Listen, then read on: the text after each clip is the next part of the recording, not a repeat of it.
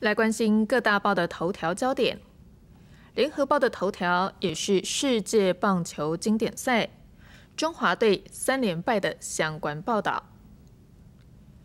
而自由时报跟中国时报的头条一样，都是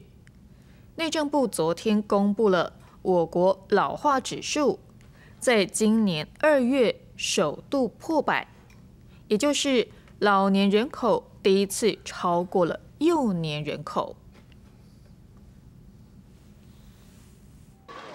小学生放学时间一到，校门口挤满了家长，有的甚至是爷爷奶奶来接孙子回家。高龄化加上少子化，国内人口老化现象急剧恶化。根据内政部最新统计，我国六十五岁以上的老人人口数达到三百一十三万九千人，首度超过十四岁以下幼年人口的三百一十三万四千人。老化指数在今年二月首度破百，达到一百点一八，反映出老化情形严重。根据国发会的推计啊，哈，那是在一百零七年的时候，老年人口可能会超过十四趴；推过一百一十五年，可能会超过二十趴。二十趴的话，就会变成超高龄的社会。在各县市的人口老化指数中，原本一百年只有三个县市，但到了今年二月，增加为十五个县市。而老化指数最高的县市是嘉义县，其次是云林县、南投县、屏东县和澎湖县。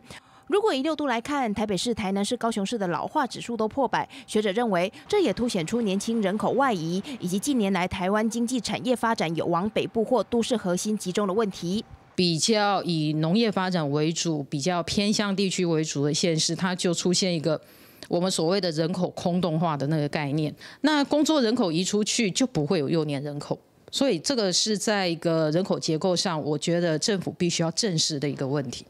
学者表示，当老年人口一直往高龄发展，新生儿幼年人口持续减少，人口老化的数字还是有继续往上增加的空间。假如政府没有一个比较友善的育儿环境，鼓励年轻人在合适的时间生育、组成家庭，人口老化的问题还是无法得到好的解决。记者韦张国良台报道。